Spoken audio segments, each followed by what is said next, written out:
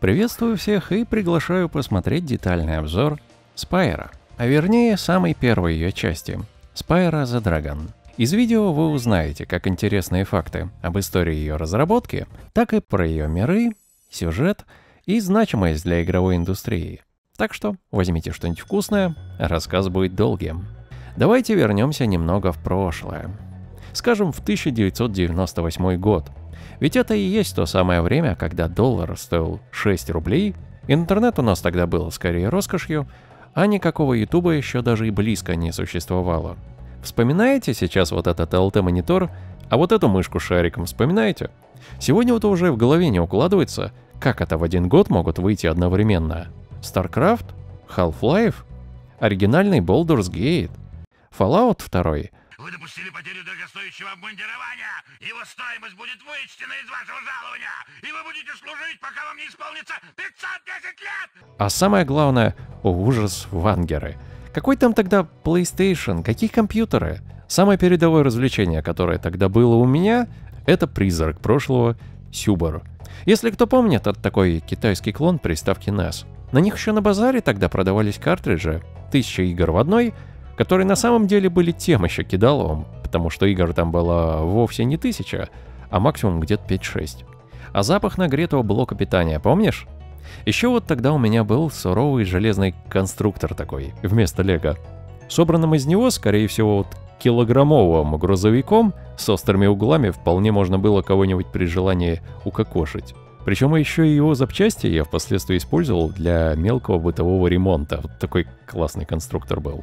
Так вот, гоняя тогда 8 бит на этом клоне NES, Марио и прочее, я и понятия не имел тогда, что в мире уже вовсю появлялись игры с 3D-моделями.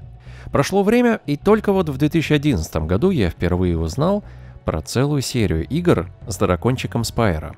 И что оказывается, они получили огромнейшую любовь, как у взрослых, так и у детей. И знаете, мне тогда чем-то сразу понравились их постеры. От них повеяло чем-то милым, таким добрым, озорным, тем, что душе приятно видеть. И мне сразу захотелось тогда это прочувствовать, ощутить самому, что же это за игра такая. Так что расскажу и вам в полной мере о том, что тогда ощутил. Но сначала немного истории о том, как откуда появилась серия Спайера. В 1996 году вышла первая часть Crash Bandicoot, и из полок магазинов США его начали бешено сметать. Причем стал этот Crash самой продаваемой игрой в Штатах в то время – его расхватывали так быстро, что складывалось ощущение, как будто PlayStation в США был практически у каждого. Тогда Sony Universal, издатели игры, посмотрели на успех Краша и захотели создать новый, не менее добротный и узнаваемый платформер. Но решили сделать его по другой вселенной. В то время на примете у Sony оказалась студия Insomniac Games, которую основали в 1994 И они к тому времени уже сделали собственную игру, называлась она Disruptor — и как ни странно, это был шутер. Причем продавался этот шутер плохо и чуть не привел студию к банкротству. И вот возникает вопрос, а почему же, интересно, Universal доверили работу над будущей игрой при таких обстоятельствах именно Insomniac? А дело тут оказалось в том, что и критикам, и игрокам Disruptor очень понравился. Поэтому Universal позвали Insomniac к себе и сказали, людям очень понравилась ваша игра. Нам не важно сейчас, как она продалась, так что мы в вас верим, вы сможете. Вот вам мешок долларов, а теперь идите и сделайте что-нибудь крутое. Конечно, я там не был, но в моей фантазии диалог звучал именно так. Инсомник согласились, хотя раньше они никогда не брались ни за что подобное. Да и, честно говоря, я бы на такое предложение тоже согласился. Конечно, может быть, тут дело и в том, что разработка игр для первого PlayStation тогда была направлением новым относительно. И издатель, видя перед собой разработчика, игру которого уже полюбили, хотел как бы попридержать его у себя и действительно дать раскрыться. И вот теперь Insomniac стало ясно, что чтобы игра могла принести успех, она должна быть сделана не только хорошо, но и охватить как можно больше аудиторию. Ребят подумали и решили взять за основу тот самый Crash Bandicoot, уже знакомый нам. Но сделать они его захотели не как какой-то там очередной клон-убийцу Диабло, а как что-то оригинальное. И в итоге они пришли к необычной на тот момент идее. Местом действия новой игры должен был стать волшебный мир, населенный магическими существами. Но что интереснее, главным героем там должен был стать юный дракончик. Сначала его хотели назвать Пит. Но там всплыли проблемы с авторскими правами со студией Disney. Дело в том, что у них был такой мультик, назывался «Дракон Пит». И имя поменяли на Пайера. И хорошо, что его таким не оставили, а то ассоциировалось бы потом с Team Fortress. Подумали еще, и в итоге дракончика назвали Спайера. С цветом его тоже определились не сразу. Сначала его планировали сделать зеленым. Но потом, играя в первоначальный build, один из разработчиков сказал, «Ну, ребят, ну он же с травой сливается. Давайте перекрасим». И для контраста цвет дракончика поменяли на фиолетовый. И вот так он и получил свой знаменитый цвет и имя. Что интересно, Spyro Insomniac сначала планировали сделать как игру в более темном и реалистичном сеттинге, поскольку в 1996 тогда вышел фильм «Сердце дракона», и часть коллектива была под впечатлением от него. Мне до сих пор не вполне ясно, что бы тогда у них получилось, если бы они сделали все как хотели. Возможно, тогда бы это выглядело не как платформер, а как первая часть Дракан. Но вмешался Марк Церни, тогдашний вице-президент игрового подразделения Universal, и он посоветовал лучше сделать игру более светлой и беззаботной, чтобы ей могла заинтересоваться более широкая аудитория.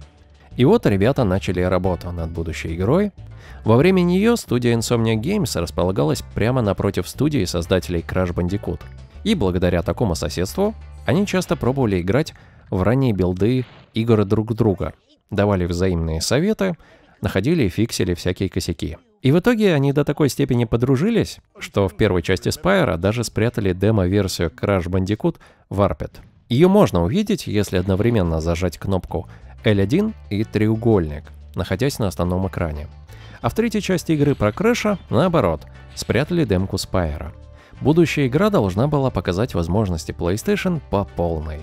Потому что именно в Spyro в одной из первых начали использовать панорамный 3D-движок, который отображает объекты в ближнем поле зрения детально, а на объектах, находящихся вдали, детализацию снижает – Технология эта на тот момент казалась чем-то просто невероятным, потому что она позволяла создавать большие открытые уровни, несмотря на весьма ограниченную оперативную память PlayStation. Музыку писал Стюарт Коупленд, бывший барабанщик группы The Police. Как он потом рассказывал в интервью, ему давали поиграть в ранние билды Spyro, в которых никакой музыки еще не было. И вот он проходил каждый уровень, запоминал тот настрой, который почувствовал, и только затем писал к нему музыку. Примерно по 4 трека в день, которые впоследствии дорабатывал. Скорее всего, именно поэтому музыка и получилась действительно подходящей и вдохновляющей. А озвучивал Спайра актер Карлос Алазараки. Голос его с 1990 года впервые начал звучать в «Приключениях мультяшек», также он работал в озвучке новых Looney Tunes, «Губка Боб. Квадратные штаны», стендапе и много где еще. Насколько понимаю, те переводы, которые есть, делали пираты. Да и переведена в них только сама озвучка. Текст не тронут. Сам я играл как и с оригинальной английской озвучкой, так и с пиратской русской, которой занимался некто Вектор. Напоминает контора из 90-х с временем жизни в один день, этих всяких АО Вектор тогда было пруд пруди. Несмотря на название, для того времени эта озвучка не подкачала.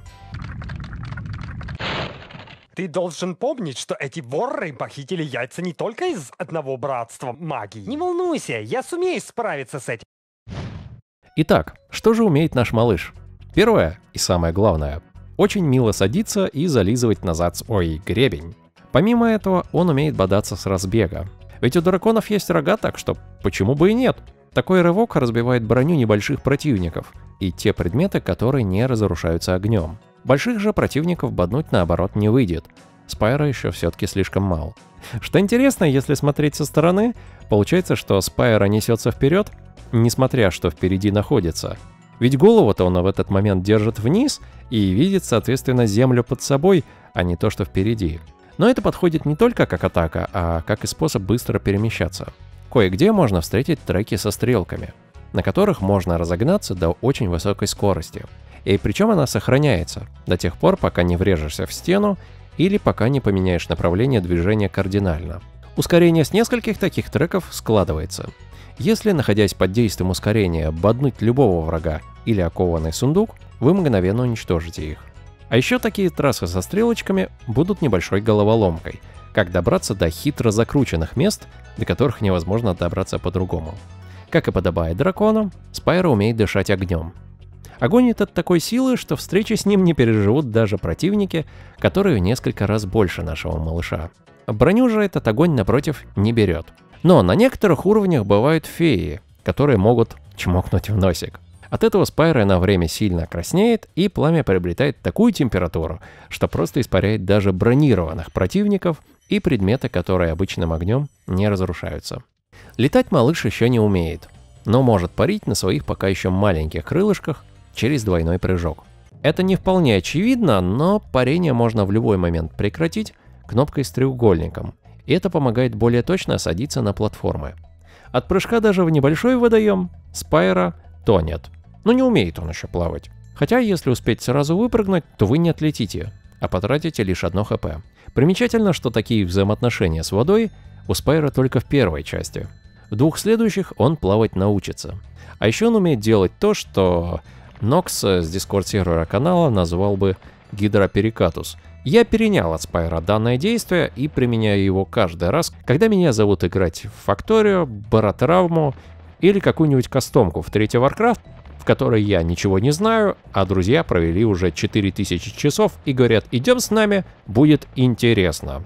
Таким образом можно уклоняться от атак. Ну или случайно упасть с обрыва на узком мостике, нечаянно нажав кнопку L1. Помимо этого у Спайра есть компаньон Спаркс. Спаркс — это наше все. Это стрекоза-гигачат, который за всю игру ни единого слова не скажет. Вообще ничего никогда не сказал. Никогда он и ничего никогда не сказал. И сейчас молчит. Спаркс — это разом и индикатор ХП, и магический щит, и даже камни драгоценные он помогает собирать с небольшого расстояния. Спарк желтый — порядок, у нас 4 хп. Если он синий, то 3. Зеленый — 2. Если Спарк спрятался, дело плохо. Значит, осталось одно хп, и следующее попадание нас вырубит. Что интересно, когда вы бодаете или дышите огнем в какую-то нейтральную живность в игре, то она исчезает, а на ее месте остается бабочка, проглотив которую, поврежденный Спаркс восстанавливает хп. И если подумать, в этом есть некоторый зловещий смысл. Но, конечно, это ведь добрая игра, это же всего лишь бабочки, или нет? Не знаю, как вы, но лично я каждый раз, когда гонюсь в игре за какой-нибудь добычей, на всякий случай приговариваю. Иногда на уровнях можно найти фиолетовые сундучки, из которых выглядывают чьи-то глаза. Внутри окажется серебряная драконья фигурка. Это дополнительная жизнь. Кроме того, жизни можно набивать, если перезайти на уровень, повторно уничтожить 20 врагов и собрать с них вот такие сферки. Кнопками L2 и R2 можно осматривать местность вокруг. А если зажать кнопку с треугольником и крестовину, то можно смотреть по сторонам от первого лица. Что часто будет очень кстати, потому что ракурс у камеры не всегда удачный. Советую вообще выставить через настройки камеру как активную, так обзор будет немножко удобнее. Через Select можно просматривать прогресс по мирам, которые вы посетили. Управление, конечно, не дается идеально сразу, но оно интуитивно понятно.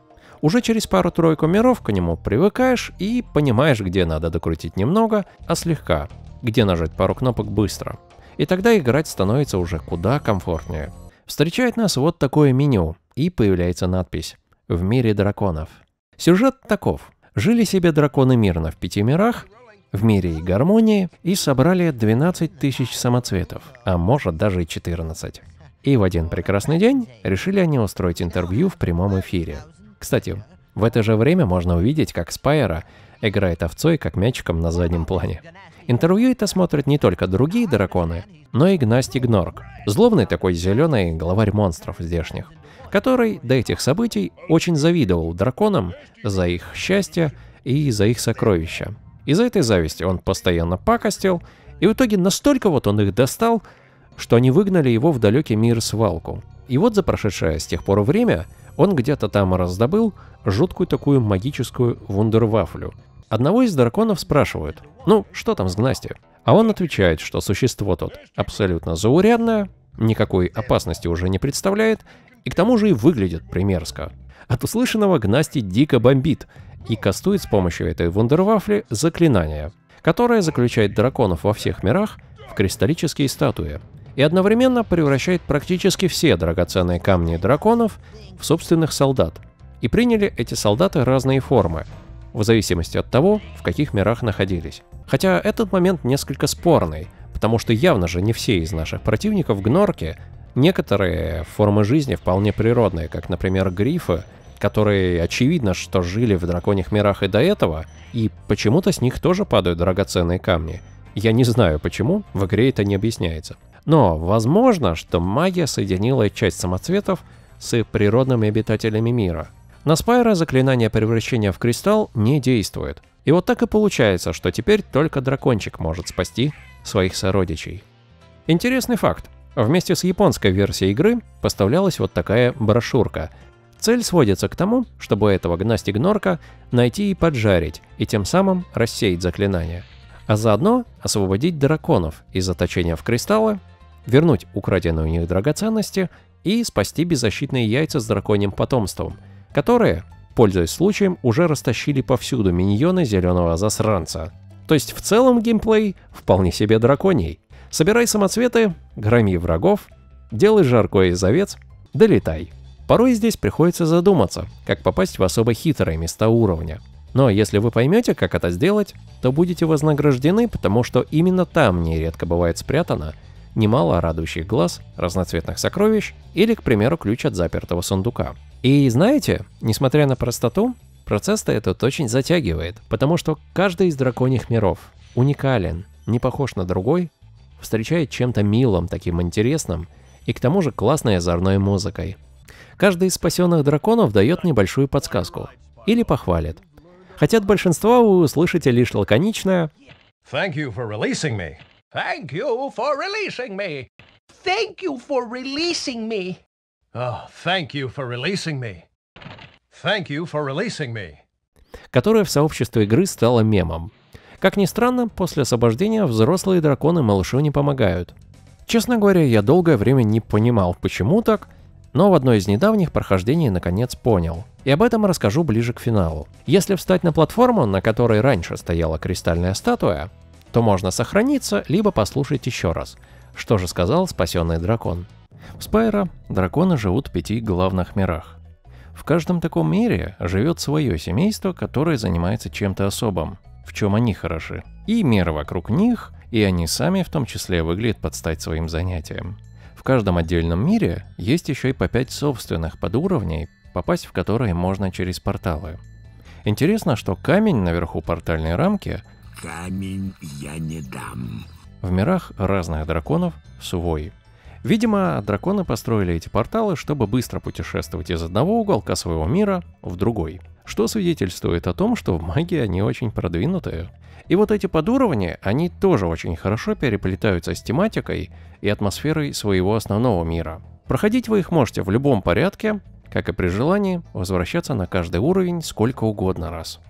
Выбраться с каждого уровня можно, прыгнув в его конце на платформу с вихрем или нажав в Select э, кнопку «Покинуть уровень». В процессе этого, кстати, можно увидеть, как открывается сундучок, из которого появятся все найденные драгоценности, и после подсчета с приятным таким звуком попадут в этот же сундучок обратно.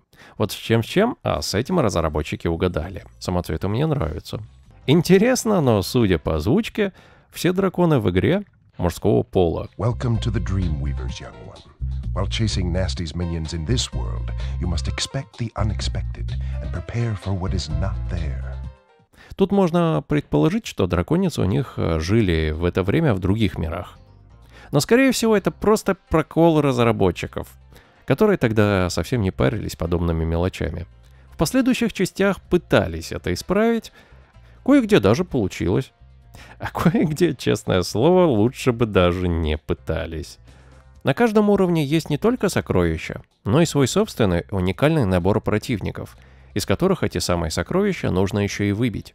С каждого противника самоцветы выпадают только один раз. Если вы их с него уже подобрали, то дальше он будет дропать только сферки жизни.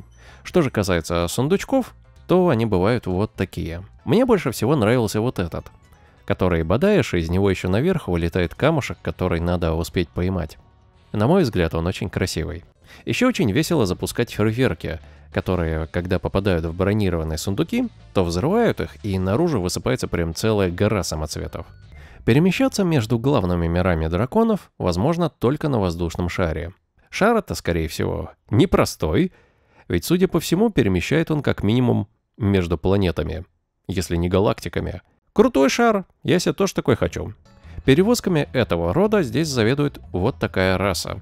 Вероятно, союзники драконов.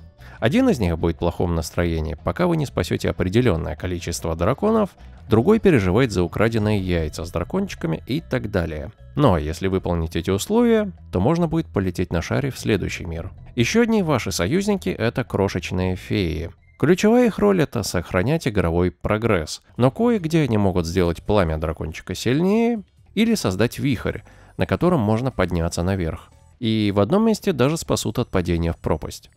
Самый первый мир, в котором мы и начинаем, это мир мастеров. Это зеленый луг, цветы, чистый водопад, впадающий в пруд.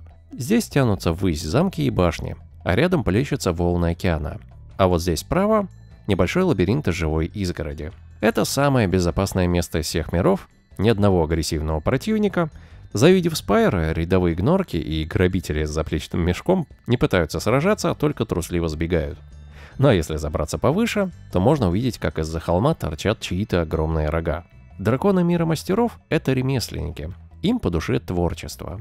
Это писатели, художники, скульпторы и ювелиры. По своей натуре они миролюбивы и спокойны. Глава мира мастеров — Нестор.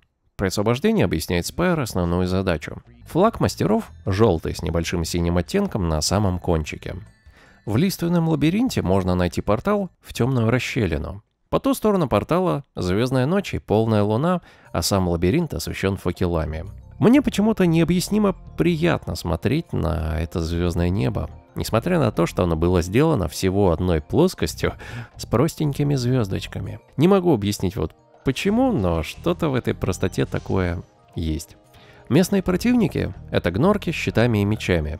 А еще есть толстые гнорки — Одни со здоровенной дубиной, другие прикрыты спереди броней. Если первых можно подпалить и так, то вот со вторыми придется подождать, пока они развернутся и откроют незащищенную спину. Фонарики. Фонарики, которые можно впервые встретить именно здесь, вызывают у меня просто какой-то детский восторг. А это потому, что если разбежаться и боднуть их, они делают... Казалось бы, мелочь какая, но как же все-таки здорово видеть, что эту деталь предусмотрели еще тогда. Каменный холм. Это огромное пастбище, на котором пасутся овцы и барашки, а их сопровождают пастухи. В небесах же здесь яркое солнце. Барашки будут пытаться бодаться, но их можно перебодать самому. Но что касается пастухов, они будут пытаться вломить вам палкой. Тут же мы можем впервые встретить и одного из воров, которые похитили яйца. Ты совершил страшное преступление. Ты должен сидеть в тюрьме. Эта темная личность, закутанная в бинты, будет ехидно насмехаться над вами и бегает очень и очень резво, лишь немного медленнее, чем сам Спайра. А этот ехидный смешок вы запомните и узнаете потом из тысячи. Интересно, но на этом же самом уровне можно найти какие-то генераторы щита, не дающие убежать вглубь локации. Так что драконы и такое строить могут. Городская площадь. Чем-то мне эта местность э, в фиолетово-оранжевых лучах заката напоминает отсылку на Испанию. Здесь есть быки, которые тоже очень любят бодаться. Но что интереснее, если боднуть такого быка самому, то он втыкается рогами в землю и остается в таком положении уже навсегда. Но с ними же происходит и что-то необъяснимое, потому что если оставить их в таком положении, то через какое-то время они просто растворяются в воздухе. Живут здесь не только быки, но и гнорки-матадоры, которые от этих самых быков иногда удирают. Со стороны это смотрится довольно забавно. Солнечный полет. А вот это гонка на время. По одной такой есть в каждом основном мире. Интересно, что портал, ведущий к ней, не откроется сразу. Сначала нужно попрыгать по пяти платформам в домашнем мире мастеров. Гонки отличаются тем, что в них Спайра умеет летать постоянно, а не только парить может быть, малышу здесь помогает э, драконья магия. Да и жизни тут от падения в воду не тратится. Задача в гонке сводится к тому, что нужно до конца таймера обратного отсчета успеть активировать 4 группы разных объектов. Когда поджигаете один из них, то к таймеру добавляется дополнительное время. И еще, до недавнего прохождения я этого совсем не знал, но оказывается, в гонках Спайра умеет делать в воздухе обратную петлю. И это выглядит весьма эффектно. Скорее всего, без тренировки вы вряд ли пройдете гонку с первого раза. Потому что трассу и какие объекты активировать первыми, какие последними, нужно еще и запомнить. То есть, первый босс игры. Хотя обычно имена переводить не принято, но скорее всего это отсылка к чему-то от такому прожаренному. А может быть это пасхалка к пасхалке на Mortal Kombat 2 1993 года? Внезапно это остров посреди лавы. И, о ужас, здесь помимо пастухов живут собаки, которые наверняка застанут вас врасплох, потому что у них, в отличие от почти всех остальных противников в игре, 2 хп, а не одно. И знаете, в первый раз, когда я подбегал к этим собакам и дышал огнем, то я еще недоумевал, а как ты вообще выжила? Как ты прыгнуть-то смогла? Это вообще легально? Положение еще осложняется тем, что на уровне вообще нечем восполнить здоровье. Когда я так 3 хп потерял на собаках и бегал потом по уровню без Паркса, было не смешно. В итоге оказалось, что нужно после дыхания огнем или быстро отбежать назад, или сделать перекат в сторону. Тогда собака промахивается и возвращается в исходное место. А вот это и есть то есть. Пугало, которое вертит в руках здоровенную косу. Каково же было мое удивление в первый раз, когда из середины пугала выглянула овца. А вот это уже угроза уровня Мстителей. Мир Хранителей Спокойствия. С довольно качающей музыкой.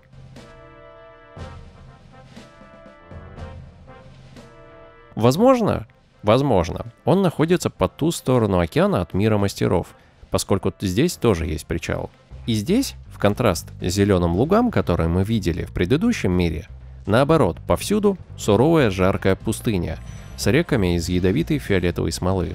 Хранители спокойствия — это защитники драконьих миров, их стражи, которые больше всего ценят дисциплину и храбрость. Ну и, конечно, самоцветы. Их лидер — это дракон Титан. Местность уже захвачена гнорками, которые встали здесь лагерем и проводят какие-то учения. Давайте посмотрим на эти учения со стороны. Выстрелом из одной пушки гнорк стреляет прямо в ствол другой пушки, а тот повторяет за ним то же самое. Как пушки от такого до сих пор не разворотило, и главное, чего они этим пытаются добиться, это хороший вопрос. Впрочем, вы сможете наводить пушки и стрелять из них сами – такой выстрел даже разрушает некоторые скалы. В одном из мест будут стоять палатки, куда гнорки, напуганные Спайра, попытаются сбежать. Их оттуда можно будет выкурить, если сжечь саму эту палатку. А вот дальше, дальше происходит что-то странное. Дело в том, что на одной из своих анимаций Гнорк трясется от страха, это ладно. Но на другой он разворачивается и, по всей видимости, спускает штаны. Выглядит это как-то двусмысленно. Что интересно, один из драконов упоминает, что знает о судьбе Спайера. То есть происходящие события явно не случайное совпадение. Порталы и архитектура этого мира — это зубчатые крепости, а флаг — черный с красным. Ледяные пещеры. Дизайн этого уровня просто офигенный. Во-первых, причина в том, что он берет отличным контрастом по сравнению с домашним миром Хранителей Спокойствия, как помните, жаркой пустыней. Представляете, после полуденной пустыни мы резко попадаем в звездную ночь где-то далеко, вероятно, на северном краю мира. Музыка здесь просто потрясающая. Нередко я оставался здесь подолгу только для того, чтобы ее послушать.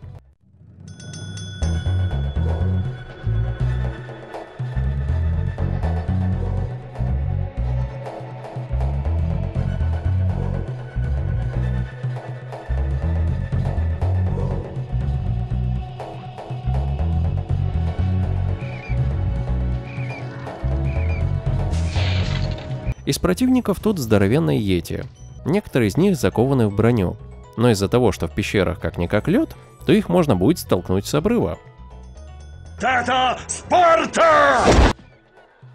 А еще в одном из мест при парении в моей голове просто кричала фраза из Halo Combat Evolved.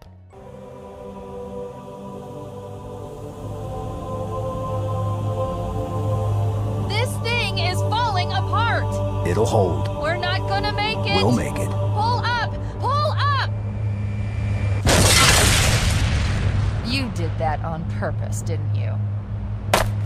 Еще здесь живут гнорки, которые кидаются снежками. А из живности на потолках сидят мило пищащие летучие мыши. На одной из ледяных платформ стоит сразу три сундучка с жизнями, и потребуется совершить настоящий полет веры, чтобы добраться туда. А на верхушках фонариков здесь находятся самоцветы. И это очень весело, разбегаешься, бьешь этот фонарик, и сверху падает самоцвет. Так здорово их бодать. Я за все эти черты этот уровень просто обожаю. Скалистый город. Если в мире мастеров была отсылка на Испанию, то этот уровень явная отсылка скорее на Мексику.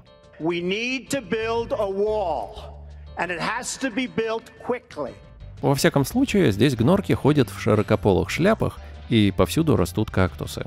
А еще тут можно встретить каких-то теток с половниками, которые варят что-то в горшках, и заодно дают гноркам пенделя и шлют их в атаку на нас. Как вы думаете, что они здесь варят? Оказывается, самая лучшая приправа к супу — это самоцветы.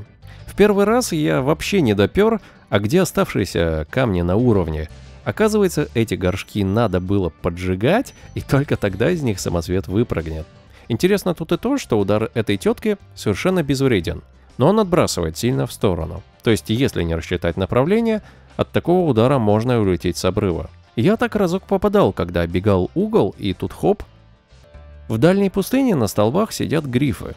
И как и в каменном холме, здесь тоже есть генераторы барьерного щита. Сухой каньон. Занятно, но тут гнорки даже обзавелись чем-то вроде аркебуз. А крупные гнорки одеты в шапки французских легионеров и пытаются бить Спайра грифами. Доходит до того, что в одном из мест в тебя сразу летят два грифа, так еще и легионер норовит дать по голове третьим. Беспредел. Этот уровень вас заставит, наверное, поднапрячься, потому что придется здесь догадаться еще, как долететь до места с большей частью сокровищ. Ночной полет. Гоночная трасса посреди кристаллов, но посложнее, чем предыдущая. Доктор Шемп. Уровень с боссом. В небе этого мира, по всей видимости, огромная планета-спутник, заслонившая собой звезду, из-за чего случилось затмение. И разработчики немного повторяются опять, потому что и здесь у них эти тетки с половниками живут, только вот тут они уже ничего не варят, а дают пенделя своим мужикам-дикарям, которые, не задумываясь, чаржатся в сторону Спайра. Причем такая мелочь, что впереди Спарта их не останавливает – ведь у них на лице пластина, которая полностью перекрывает им обзор, поэтому им абсолютно пофигу. Да, Матриархат явно не пошел гноркам на пользу. Сам Шемп — это гнорк, похожий на огромную жабу. В темных очках, с посохом и броней спереди. И флексит он не хуже, чем Рикардо Милос. Воевать с ним можно, только буквально поджарив ему зад. Так эта зараза делает еще и обманные движения. Есть такой интересный факт о названии этого босса. Шемп — это что-то вроде локального мема, который в то время ходил среди инсомниак. Если кто-то из них косячил, то другие его подкалывали, что тот вот опять обшемпился. Что, вероятно, у нас являлось бы аналогом слова «облажаться». Еще забавно то, что в файлах трилогии есть файл Spyro TRD, и вот если его открыть блокнотом, то можно там найти абсолютно бессмысленное послание, которое повторяется на протяжении 20 мегабайт. Выглядит оно вот так. Как вы думаете, что это такое? Иллюминаты? Секретный код? Что-то еще? Я сильно напрягся этим вопросом, мне это не дало покоя, и в итоге раскопал на форумах, что разработчикам просто, оказывается, нужно было чем-то забить размер диска с игрой, и они забивали его вот таким текстовиком. А сделано это было для того, чтобы поместить важные игровые данные туда, где привод читал бы их быстрее. А вот этот вот текстовик туда, где скорость чтения была не особо важна. Мира мастеров магии. И вновь, после предыдущего мира с палящим зноем, мир чародеев дает просто до дрожи такой приятный контраст, от которого чувствуешь настоящий восторг. После пустыни это место мне чем-то напоминает маленькие Альпы. Здесь высокие горы с шапками снега чередуются с зелеными лугами и пещерами, Здесь приятно находиться. Именно на основе этого мира и создано главное меню. Этот уютный горный уголок облюбовали для себя драконы магии. Они уединились здесь, чтобы проводить свои исследования, придумывать новые заклинания для собратьев и мастерить всякие волшебные вещи. Что занятно, они единственные, у кого глаза полностью цветные. И у данного семейства, в отличие от других, по две пары рогов, а не по одной – Лидер драконов-магов – Космос. И говорит он еще с таким интересным и забавным акцентом. Welcome to Magic Crafters. I want you to release the dragons, reclaim our treasure, and recover the eggs from those pesky blue thieves. Именно им и принадлежит идея создания дорожек-ускорителей, которая здесь же и была полноценно реализована. Но вот другие свои магические способности они почему-то никак не демонстрируют. Думаю, было бы правильнее переводить название их мира как э, «Мир магических ремесленников». Но на русском это как-то не очень звучит. Этот мир напоминает мне еще и город-башню из третьих героев, где маги Бракада жили в холодных горах, если помните. Вот только у драконов гораздо уютнее. Горный хребет, проходящий поперек локации, условно делит ее надвое. Первая, самая большая часть, содержит зал и несколько коридоров, прорытых в горе, а также открытую площадку с крупным озером, питаемым водопадами, сталой водой. Сколько раз вижу в играх такую воду, вот почему-то всегда ее называю жидким азотом, несмотря на то, что жидкий азот совсем так не выглядит. А вот что эта вода делает в помещении, интересно? Это что, бассейн для медитации? Наверное. Эх, безумно нравится мне архитектура этого места. Это черно-белая плитка, стены таких приятных тонов. А как же долго в свое время я искал, где был ключ к запертому сундуку. Оказывается, вот где он был. Как и в прочих домашних мирах, в мире чародеев установлены характерные порталы. Но они низкие и широкие, и сделаны из горной породы. А в вершине портальной рамки находится какая-то драгоценность, похожая на опал. Флагов в этом мире почти нет, но там, где они есть, они белые. Скорее всего, под стать снегу. Из противников здесь какие-то усатые стражники в бронефартуках с посохом, которым они бьют словно дубиной. А еще они говорят забавное «Ау!». А вот эти гадские друиды при вашем приближении начнут быстро поднимать препятствия. И характерно еще ржать над вами в попытках их достать. Зато потом, когда вы до них доберетесь... Настало время жатвы. Есть здесь и грозовые волшебники, над которыми, как над Питером, все время тучи, из которых идет дождь. Тука, пилот воздушного шара этого мира, единственный, кто может отправить Спайра не только в домашние миры, но и в обычные с ворами. В случае, если вы еще не собрали 5 яиц, но при этом успели собрать хотя бы одно. Пик волшебников. Это магическое святилище, которое составляет с горами практически одно целое. В дизайне построек внутри можно разглядеть и луну, и звезды в синих, белых и желтых оттенках, а на столбах эти залы освещают магические кристаллы-светильники. Другая часть зала в тонах красных и белых, с золотом, что выглядит очень красиво. Я бы даже ремонт такой у себя сделал. Чем-то вот эти цвета напоминают мне архитектурный стиль эльфов крови из Вов. В небе здесь словно одновременно и день, но при этом ярко светит полная луна и звезды. Я обожаю в играх такое сочетание. В небе это смотрится необыкновенно – и я словно чувствую в этом что-то такое очень близкое и родное. Не знаю почему, наверное, этому есть причина. Просто такое же самое чувство у меня возникало, когда я проходил Halo Combat Evolved и увидел, как в небе на станции ярко светят звезды при дневном свете. И это словно колыхнуло в душе какую-то очень чувствительную струнку. Мне долго здесь не давала покоя одна из платформ вдали, Пытаясь долететь туда на ускорении со стрелки трека, я несколько раз падал вниз. Но какое же классное чувство, когда туда все-таки долетаешь! Такое обычно возникает, когда достигаешь того результата, который дался тебе тяжело. Если меня кто-то разбудит в 3 часа ночи и спросит, какой один из моих самых любимых уровней Спайра, я без колебаний отвечу – пик волшебников. Потому что здесь одна из самой лучшей музыки. Интересная деталь тут еще в том, что в самом начале от нас улепетывает этот маг в широченном балахоне. А кроме того, он умеет еще и создавать противников по пути. И более того, некоторые гнорки с дубиной, которых он создает, начинают воевать с местными стражниками в бронефартухах. Причина их вражды не объясняется. Местоположение одного из магов заставляет всерьез задуматься. «Да как же до тебя добраться-то?» Мозги при этом начинают кипеть не на шутку. Но позитивно. А еще на одной из платформ, до которых сложно достать, сидит вор. Да и в пропасть очень легко сорваться, когда его преследуешь. Высокие пещеры. Целая сеть горных пещер, в которые весьма естественно вписан интерьер внутри.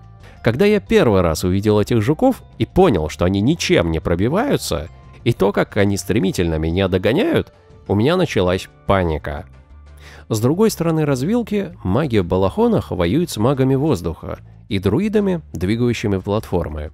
По счастью, выяснится, что пробить жуков все-таки можно, или как следует разогнавшись, или получив чмок в носик. А еще это единственный мир, в котором феи спасут вас от падения в пропасть. Хотя, когда я минут 10 не мог найти последний камень на уровне и обшарил каждую кочку буквально в его поисках, то от ощущения тлена несколько раз намеренно прыгал вниз. Но всякий раз эти феи выносили меня обратно, чтобы я нашел этот гребаный камень.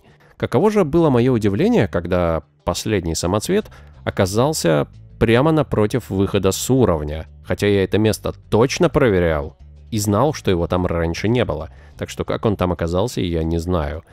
Горный край. Здесь живут здоровые медведы, которых приручили вот эти бронированные волшебники. Интересно, что при уничтожении медведа волшебник удивленно подпрыгивает на месте. В самом начале он стоит на обрыве, так что я, кажется, тогда джойстик уронил от смеха, когда отправил его в пропасть, ну и по неосторожности улетел вслед за ним туда сам. Здесь даже магический аналог эскалатора есть. Кристальный полет. Еще одна гонка посреди кристаллов. Она несложная. И трудно даже представить, насколько эти кристаллы должны быть велики, раз простираются они от самого дна океана и вздымаются довольно высоко над поверхностью. Блоухард. Большая белая гора и высокие башни, парящие в воздухе. Здесь живет один из самых простых боссов игры. Наполовину маг, а наполовину воздушный элементаль мир создателей зверей. Если вы играли в Механоида и помните регион Ядовитые болота, то вот это место как раз оно, только в Спайера. Здесь снова резкий контраст.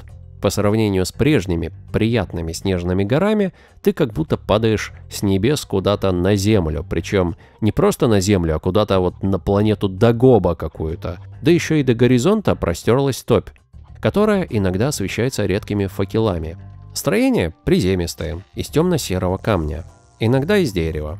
Интересно, но тут есть даже и зиккурат. Особенно интересны вот эти сторожки, которые построены на вершинах тонких и иссохших стволов, прямо посреди болота.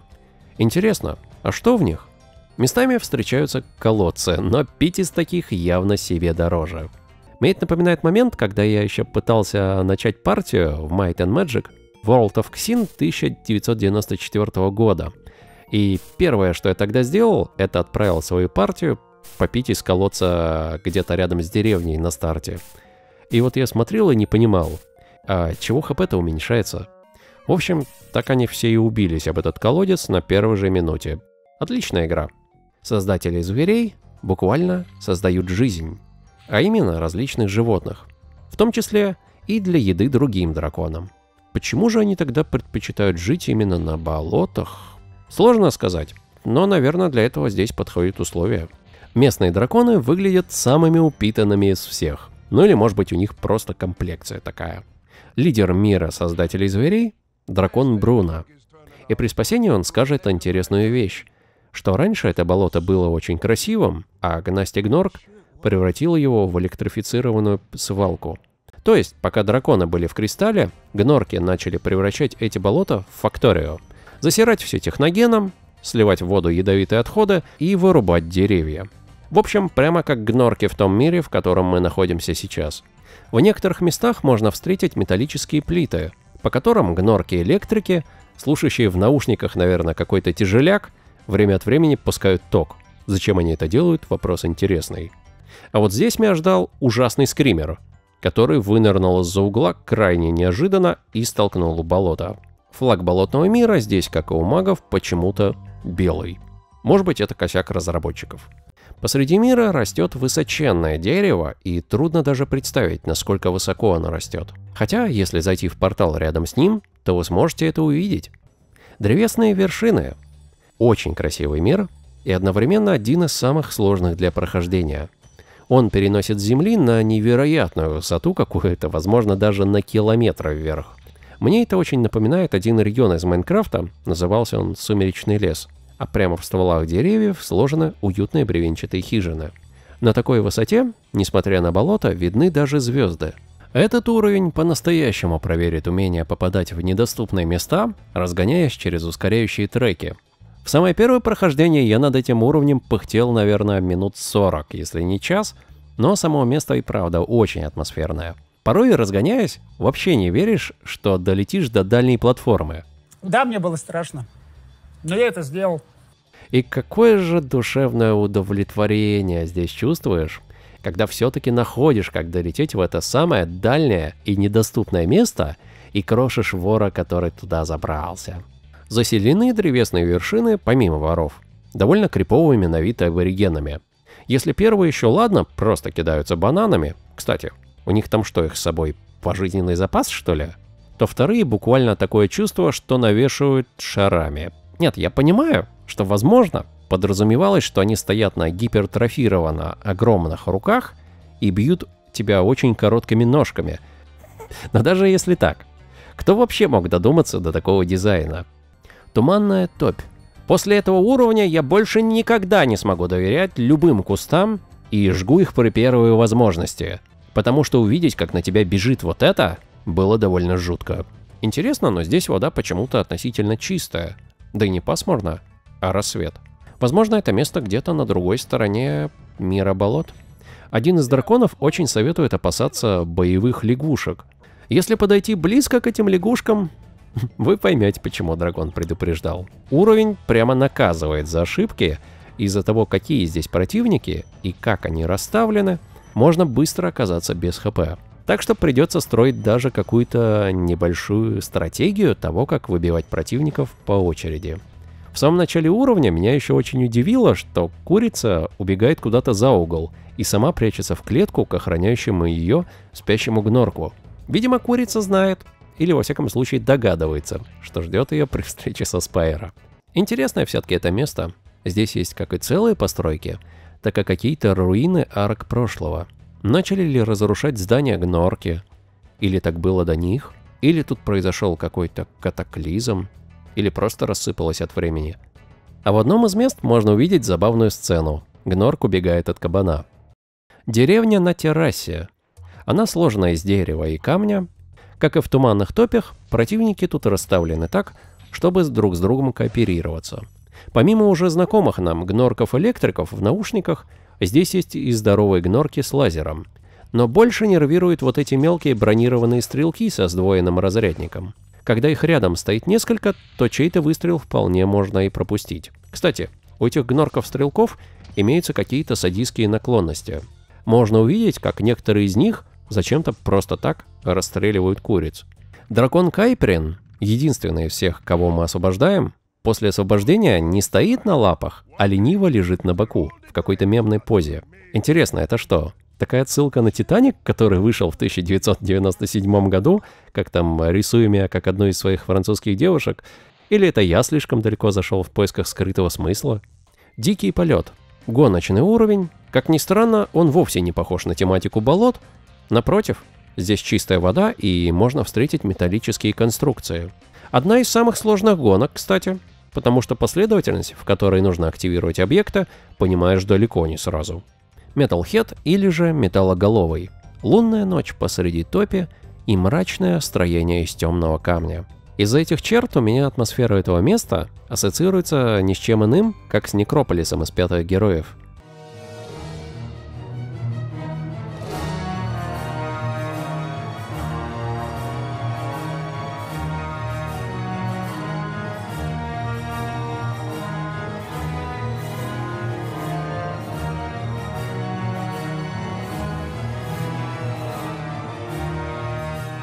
Здесь живет босс мира болот, посланный сюда Гнасти Гнорком огромный робот, неуязвимый для атак Спайера. Но оказывается, что уязвимость у него все-таки есть. Это пилона, который питают его энергией. Об этом предупреждает дракон Садики. Интересно, получается дракона понимают и в робототехнике? А еще этот дракон похож на самого Спайра, только взрослого.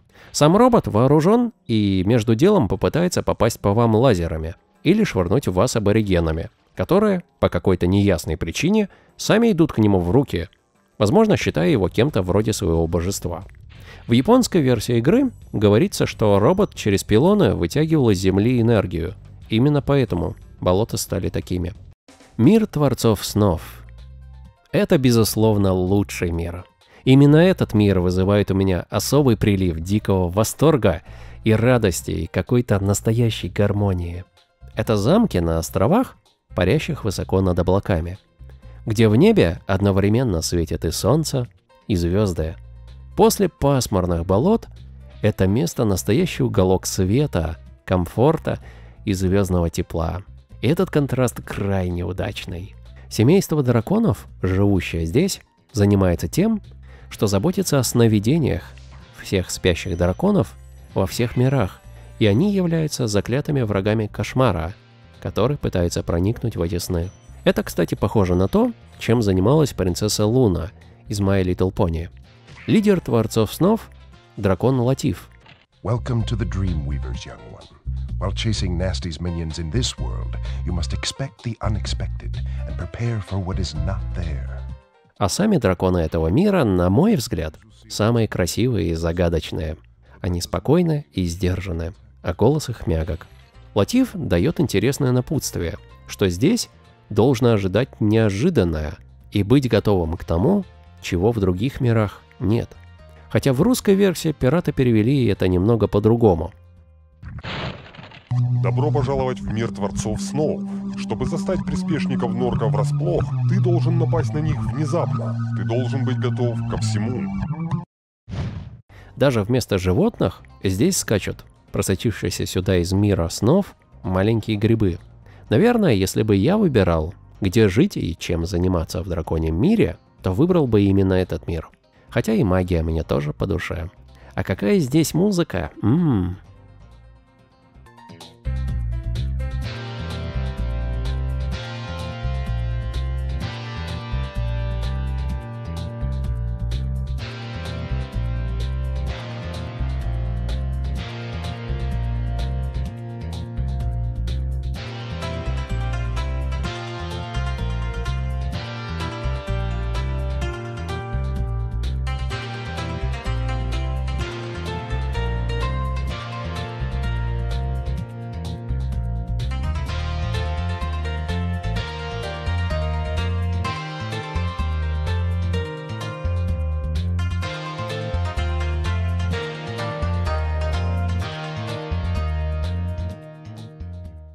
Одно из самого примечательного здесь – волшебная пушка на центральном острове, которой рулит фей. По крайней мере, я их называю фей, потому что, кажется, они мужского рода и у них есть крылышки. Фей постоянно доворачивает эту пушку. Выстрел из нее не наносит урона, зато то увеличивает, то уменьшает в размерах других обитателей локации, что, видимо, фея очень развлекает. Когда он это проделывает с большим феем, это ладно – его-то можно и огнем сдуть. А вот если эти бронированные вырастут до больших размеров, то тут они уже ничем не пробиваются.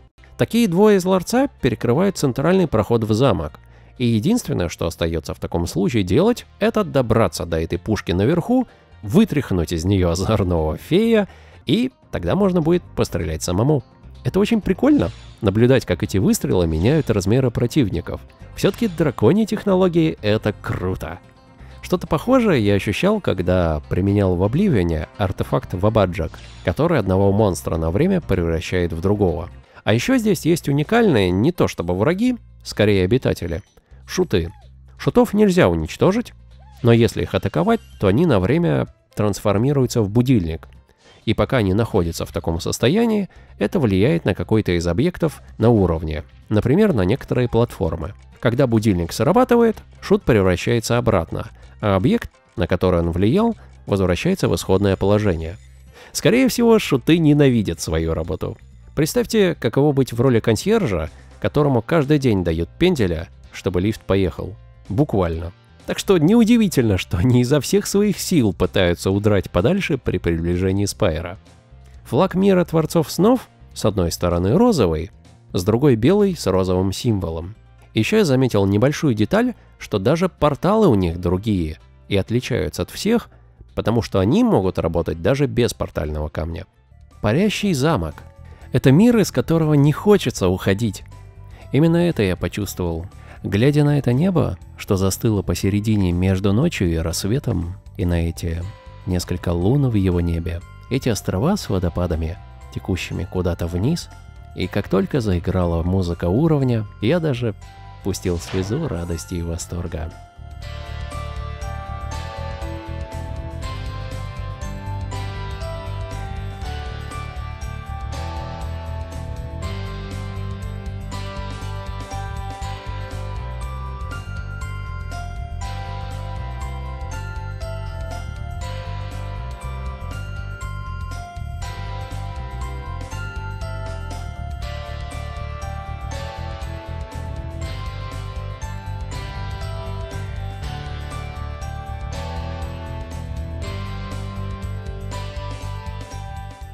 Природе меня редко может что-то по-настоящему растрогать, но это смогло. Острова, парящие посреди облаков, над сумеречной ночью и даже над звездами, здесь хочется жить. Еще знаете, так забавно лопать шарики, на которых парят эти толстые гнорки. Здесь обитатели кошмара заперли фей, а без них вперед не продвинуться. Так что пора отплатить добром и вызволить их на свободу. Когда у каждой чаши собираются по три феи, они образуют волшебный вихрь, поднявшись на котором мы можем попасть дальше. Интересно, а вот это что за помесь колобка и грифона? Не знаю, но выглядит эта пухлая птица забавно. Что действительно загадка, так это зачем пол в одном из зданий идет под диагональным скосом вниз, а в полу круглая дыра. Возможно, это какой-то магический концентратор, который помогает драконам работать с измерением снов. Кроме того, уровень проверяет и те навыки полета, которые мы получили в гонках, потому что здесь в одном из мест придется одновременно и рассчитывать траекторию, и дышать огнем в полете. Призрачные башни. Эпичный уровень. Особая изюминка здесь в том, что на полу лежат пустые доспехи, которые в какой-то момент оживляют волшебники. И вот эти оживленные доспехи перекрывают путь вперед, и сколько бы вы ни пытались пробежать или пролететь мимо них, ничего не выйдет. Дальше вы не пройдете, пока не получите бумаги. На этом строится механика всего уровня, и она больше нигде не повторяется. Бумаги, ну или, по крайней мере, тактический чмок в носик выдает освобожденная фея. А в финале уровня нужно успеть забраться по платформам к волшебнику раньше, чем он оживит последние доспехи. Потому что, если он это сделает, то доспехи перекроют проход и придется вернуться назад, чтобы попытаться снова. Первый раз я уже почти добрался к волшебнику, а он, гад, успел таки оживить этот последний доспех. Вот это был облом, но как же здорово успеть и расквитаться с ним. За дверью меня ждала королева фей и сделала такое, что Спайра покраснел на весь оставшийся уровень. У этого чмока, в отличие от всех других в игре, эффект не пропадает, а сохраняется до тех пор, пока не прыгнуть в портал и вернуться домой. А есть и местечко, где нужно будет по полной использовать суперускорение, пробивая под его действием головой стальные двери. Уровень долгий, но очень интересный, и из-за этой механики вы, скорее всего, не сможете его позабыть даже через долгое время. Темный проход. Астероиды посреди звезд, туманностей и космоса. Здесь реальное особенно причудливо перемешивается с сюрреалистичным и показываются мрачные грани сновидений – Здесь можно физически дотронуться до вполне материальных форм кошмара и даже получить от них по голове. Уникальная механика этого уровня – шуты с фонариками. Они постоянно их то зажигают, то тушат. В освещении монстр кошмара маленький и милый, и справиться с ним легко. Когда же шут тушит фонарик, монстр приобретает огромные размеры и становится намного криповее и опаснее. А в нескольких местах тебя толкают столкнуться со страхом лицом к лицу. Например, вот здесь под воздействием темноты, черепахи преобразуются в огромных и непобедимых. Нужно успеть быстро проскочить мимо них, и только тогда можно будет зажечь фонарь. И вот эта вот тропинка, словно с намеком на игральные карты и покосившиеся замковые башни, все это словно дает понять, что мир вокруг находится и в измерении реальности, и в измерении сна одновременно. Ледяной полет. Пожалуй, самая хитро закрученная из всех гонка в зимней тематике. Как и на болотах, придется напрячься, как успеть активировать все объекты и уложиться в отведенное время. Жак, хотя его всегда называл Джаквес. Этот уровень с боссом лучше всего показывает, во что превращаются сны под влиянием кошмара. Вместо замков в облаках тут скалы, которые тонут в бесконечной лаве с криповыми и упоротыми чудовищами. Здесь наиболее активно задействуется механика с шрутами. Они, гады такие, бегают постоянно, так что попадать лучше дыханием. Жак — это, видимо, босс этих шутов, который будет кидаться в вас коробками. Почему коробками? Хм, интересный вопрос. Одержав победу над ним, переносимся в хаб, в котором находятся порталы в миры Гнасти Гнорка. Расположены эти порталы внутри железных драконьих пастей. Именно здесь мы узнаем, что некоторые драконы после освобождения из кристалла вовсе не бездействовали, а отправились сюда поквитаться с Гнасти Гнорком за свое заточение. Например, Латиф, лидер мира Творцов Снов, Томас, Космос и другие. Но им это почему-то не удалось. И они снова угодили под заклятие кристаллизации. Один из драконов даже говорит Спайро, «Я бы помог тебе, но не хочу снова попасть под заклинание и окаменеть». Гноркская бухта – индустриальный порт с вполне современными кораблями. Тут вскрывается очень интересная деталь. На гнорков работают крупные представители расы, очень похожей на ту, пилоты которой возят вас на воздушных шарах. Увидев это, я озадачился. Выродок-то откуда ты такой? Ты же наш, сибирский. Ну чему такой выродок? Интересная тут механика. Можно бодать бочки со взрывчаткой. Они сбивают бронефартуки рабочим, а потом их можно и поджечь. И знаете, бодать эти бочки очень весело. Только не делайте так с динамитом, а то будет больно. Сумеречная гавань. Не зря мир Творцов Снов подготовил нас в плане сложности. Потому что здесь живут совсем не те безобидные гнорки, которые встречались вам в самом начале. Мало того, что солдаты вооружены самым что ни на есть огнестрелом, так у них еще есть какие-то гнорковские красные береты, которые, завидев Спайра, начинают стрелять очередями не переставая. Повсюду железо, заводы, отравляющие воздух и землю и воду, и производящие оружие и взрывчатку. Полная противоположность мирам драконов. Это дает понимание, в какую дрянь превратились бы миры под управлением гнорков. После прохождения гавани открывается портал к самому Гнасти Гнорку. Он стоит на платформе, проход которой закрыт на замок, и лениво кидает вас зелеными лучами. Почему он ключи от замков не съел, а оставил своим подопечным охранять их? Хм, хороший вопрос. Поймать воров с первого раза получится вряд ли. Уж очень они быстрые так что придется сделать несколько кружков и привыкнуть к траектории, по которой они движутся. Собираем ключи и откроется проход к платформе, на которой стоит босс. Осознав положение, Гнасти теперь даже не думает сражаться, а только трусливо убегает, сверкая пятками. Притом очень резво. Настолько резво, что его просто не получится догнать. Да и трасса опасная, узкая очень. Свалиться можно в миг. Лишь в один момент он ненадолго встает на платформу отдышаться, и это единственный способ успеть нанести по нему удар. После этого Гнастия начинает удирать во второй коридор, где быстро прыгает по втягивающимся в стену платформам над лавой. Так что вам по полной придется проявить свои навыки и быстро бегать, и быстро летать, чтобы успеть к последней платформе перед тем, как она втянется в стену. Наконец-то этот засранец загнан в угол, а бой после этого с ним сводится к Вот же суки, вот получите. После победы можно посмотреть забавный ролик. What about Ganasti Ganork? Nasty Nork is toast. So now there's order again in the Dragon Kingdom? Well, mostly. I've still got some treasure to pick up. What will you do next? I'd say the sky's the limit. Но это еще не конец. Если вы спасете всех драконов, украденные драконьи яйца и сокровища на всех уровнях, то откроется портал в сокровищницу Гнасти. В небе этого мира можно увидеть единственную во всей игре планету с кольцом. Интересно, что хотя сама сокровищница тоже в техногенном уклоне, в ее дизайне есть и кое-какие элементы от архитектуры драконов. Скорее всего, это местность, которую Гнасти только начал перестраивать на свой лад, но не успел. Появившись на платформе, я какое-то время недоумевал. А что сделать-то надо? Я же никуда не допрыгну просто отсюда. Но особенность уровня в том, что оказывается, здесь доступен свободный бесконечный полет. Вот только он ограничен определенным потолком высоты, для повышения которого нужно собирать ключи и открывать специальные двери. Ключи находятся у воров.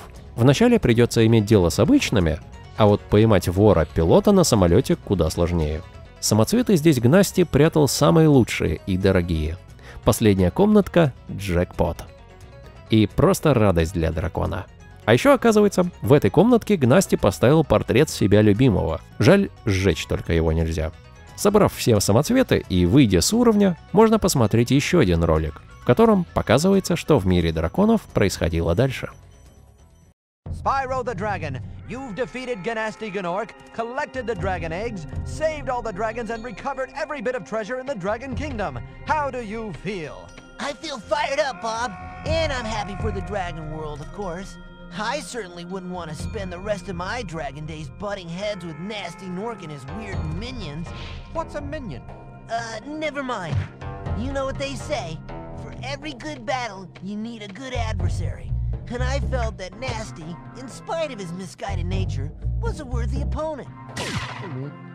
Uh-oh. Here we go again. Значимость.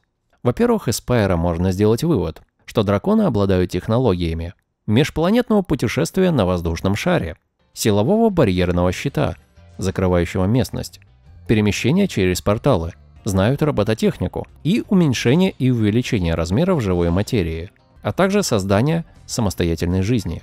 Да, это игра 1998 года, да, для PS1, но в ней есть заряд чего-то доброго, простого и чистого. И это очень важно, потому что в жизни именно такого очень не хватает и детям, и взрослым. Сразу после релиза продажи были незначительными. Но, когда наступил канун новогодних праздников, словно произошло чудо. Игру заметили, распробовали, а затем за ней потянулись огромные очереди. К моменту 2007 года по миру разошлось более 5 миллионов копий Spyro the Dragon. И это только официально. Если учесть, что толщина одного сидюка составляет 1,2 мм, то если из этих дисков собрать башню, ее высота будет 6 километров, что лишь немного не дотягивает до высоты горы Эверест. Spyro уникален тем, что имея лишь технологии того времени, в Insomniac смогли с душой и талантом сложить в единую мозаику дизайн зданий, локаций, персонажей и музыку. И мотив глубокой связи драконов с небом и звездами, драгоценными камнями и магией хорошо ощущается здесь повсюду. На мой взгляд, сделать такое могли лишь те, кому действительно было важно и интересно то, что они делают. Спайро не просто обрел огромную любовь и фан-сообщество, но стал, пожалуй, самой известной и популярной игрой про драконов в мире. Благодаря такому успеху в 1999 и 2000 Insomniac смогли выпустить две отличные части продолжения – «Ярость Рипта» и «Год Дракона». А что еще интереснее, в 2014 генеральный директор Sony сказал, «Мы начали обсуждать вопрос о продолжении выпуска игр, в которых будут давние персонажи, которые так полюбились людям. Люди говорят о том, что именно эти персонажи были так близки им в детстве. Я, безусловно, не буду игнорировать подобные просьбы. Insomniac Games также приходила масса писем с просьбой обратно выкупить лицензию и продолжить дальнейшую разработку игр. И в 2018 действительно появляется сногсшибательный, офигенный ремастер трилогии на современной графике, отчего фанаты игры буквально рыдали от счастья. Это действительно именно тот ремастер, которого игра и заслуживала. Что касается вот этих платформеров, которые выходили по Spyro между первоначальными частями и их ремастером, на мой взгляд, это то, что лучше вообще не вспоминать. Потому что после первоначального успеха серии издатель пошел по своему особому пути и решил серию подоить, то делали их уже совсем не Insomniac, поэтому они даже не парились. Не пытались дать игре любовь и передать дух оригинала. Опять же скажу, это мое личное впечатление и те эмоции, которые ощутил я. Может кому-то они наоборот нравятся. Не менее важно и то, что с 2006 по 2008 появилась замечательная трилогия «Легенда о Спайро» на второй PlayStation. И в ней о Спайро раскрывается совершенно новая, волшебная и очень трогательная история. Хотя события из прежних платформеров там не учитываются. Легенда о Спайро — это уже полноценный сюжет со смесью экшена и файтинга. Пожалуй, именно эти части и сделали игру по-настоящему шедевром, и они очень вдохновляют. Если пожелаете пройти Спайро, который для второго PlayStation, тогда по своему опыту советую проходить только первые две части. А то есть Новое Начало и Вечная Ночь. После этого лучше остановиться и не портить себе впечатление третьей частью. Причина в том, что разработку третьей части издатель передал совсем другой студии. Возможно, кто-то будет с этим не согласен, поэтому просто скажу, что это мое впечатление, сравнив все части по уровню стандартов качества и полученных эмоций. Куда с тех пор Спайра только не добавляли. И в Гаррис мод, и даже в мод кроссовер на первый Half-Life, и много куда еще. Но главное, что вокруг него образовалась целая фан-вселенная, по которой можно найти множество и форумов, и фанатских анимаций, и рисунков, и даже многостраничных комиксов. Появились даже мягкие игрушки, фигурки и прикольные подставки для джойстиков. В любом случае, что касается самой первой части Спайра, ее я почувствовал как что-то очень хорошее из того времени, когда игры были в первую очередь творчеством, и только во вторую бизнесом. И вот то очарование, которое дарят эти пиксельные текстуры и малое число полигонов, ярко говорит о том, что графика-то вовсе не главное. Что если разработчик действительно хочет, то даже с таким железом может создавать шедевры, которые вызовут восторг и приятные эмоции. Именно поэтому думаю, что поиграть в Спайра очень важно, если вы до сих пор этого никогда не делали, чтобы зарядиться добрым и позитивным, и прикоснуться к частичке светлого и простого из старого доброго времени. Если понравилось, можете подписаться или предложить идею для будущего видео по ссылке в описании. Данная поддержка для меня очень важна, потому что именно она помогает, как ничто иное, уделять свободное время на творчество. Узнать, какой точно появится новый ролик, можно в Telegram или в Discord. Желаю хорошего настроения, спасибо за просмотр и всего хорошего вам. Скоро увидимся.